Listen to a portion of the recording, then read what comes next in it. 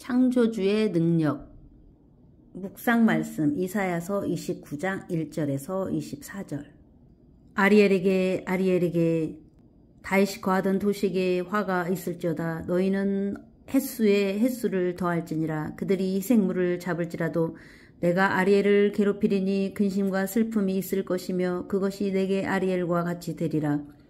내가 너를 치려고 사방으로 진을 치며 너를 치려고 산을 쌓아 올려 포위하며 너를 치려고 요새들을 쌓아 올리리니 내가 낮아져서 땅 속에서 말하며 내 말은 티끌 속에서 나지막하게 나리라. 내 목소리는 부리는 영을 지닌 자의 목소리같이 땅 속에서 나며 내 말은 티끌 속에서 나와 속삭이리라. 또한 내게 있는 타국인들의 무리는 작은 티끌같이 되고 무서운 자들의 무리는 사라지는 겨같이 되리니 참으로 그 일이 순식간에 갑자기 일어나리라. 망군의 주께서 천둥과 지진과 큰 소리와 폭풍과 폭풍과 삼키는 불꽃으로 너를 징벌하시리라. 또 아리엘을 대적하여 싸우는 모든 민족들의 무리 곧 아리엘과 그녀의 요새를 대적하여 싸우는 모든 자들과 그녀를 괴롭히는 모든 자들은 밤의 환상 속의 꿈같이 되리니 줄인 자가 꿈을 꾸고 보라 꿈속에서 먹을지라도 깨면 그의 혼이 허전하며 목마른 자가 꿈을 꾸고 보라 꿈속에서 마실지라도 깨면 보라 기진하며 그의 혼에 식욕이 있는 것 같이 시온산을 대적하여 싸우는 모든 민족들의 무리도 그와 같으리라.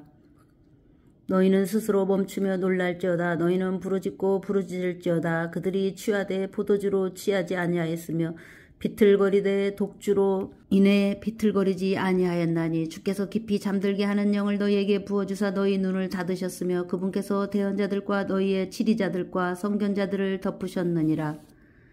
모든 자들의 환상 계시가 너희에게는 봉인된 책의 말씀들 같이 되었나니 사람들이 학식 있는 자에게 그것을 건네주며 이르기를 원하건대 이것을 읽으라 하면 그가 이르기를 그것이 봉인되었으므로 내가 읽을 수 없노라 할 것이요 또 그 책을 학식 없는 자에게 건네주며 이르기를 원하건대 이것을 읽으라 하면 그가 이르기를 나는 학식이 없다 하리로다. 그러므로 주께서 이르시되 이 백성이 자기 입으로는 나를 가까이하며 자기 입술로는 나를 공경하나 그들의 마음은 내게서 멀리 떠났고 그들이 사람들의 훈계로 가르침을 받아 나를 두려워하는도다. 그런즉 보라 내가 이 백성 가운데서 놀라운 일 행하기를 시작하리니 곧 놀라운 일과 이적이니라. 그들의 지혜로운 자들의 지혜가 없어지고 그들의 분별 있는 자들의 지각이 숨겨지리라 하셨느니라. 자기 계획을 죽게 깊이 숨기려 하는 자들에게 화가 있을지어다 그들의 일들은 어둠 속에 있은즉 그들이 이르기를 누가 우리를 보랴 누가 우리를 알랴 하나니 참으로 너희가 일들을 뒤집는 것은 토기장의 진흙같이 여겨지리로다. 물건이 자기를 지은 자를 가리켜 말하기를 그가 나를 짓지 아니하였다 하겠느냐? 또 빚어진 물건이 자기를 빚은 자를 가리켜 말하기를 그는 지각이 없다 하겠느냐 아주 잠시 후면 네바논이 열매를 많이 내는 밭으로 변하지 아니하겠으며 열매를 많이 내는 밭은 숲으로 여겨지지 아니하겠느냐 그날에 귀먹은 자들이 그 책의 말씀들을 듣고 눈먼 자들이 눈여 듣고 캄캄한 데서 보며 온유한 자들도 스스로 더 많이 주를 기뻐하고 사람들 가운데 가난한 자들도 이스라엘의 거룩하신 일을 기뻐하리니 이는 무서운 자가 없어졌고 비웃는 자가 소멸되었으며 불법을 엿보는 모든 자가 끊어졌기 때문이로다. 그들은 말로 사람을 범죄자로 만들고 성문에서 책망하는 자에게 올무를 놓으며 무익한 일로 의인을 옆으로 제쳐 놓느니라. 그러므로 아브라함을 구속한 주가 야곱의 집에 대하여 이같이 말하노라. 야곱이 이제는 부끄러워하지 아니하며 그의 얼굴이 이제는 창백하게 되지 아니하리라. 그가 자기 자녀들 곧 내 손으로 그의 한가운데서 지은 자녀들을 볼 때에 그들이 내 이름을 거룩히 구별하며 야곱이 거룩하신 일을 거룩히 구별하고 이스라엘의 하나님을 두려워하며 영으로 잘못하던 자들도 깨닫게 되고 불평하던 자들도 교리를 배우리라. 새길 말씀 마음이 혼미하던 자들도 총명하게 되며 원망하던 자들도 교훈을 받으리라 하셨느니라. 이사야 29장 24절. 오늘 찬송 204장 주의 말씀 듣고서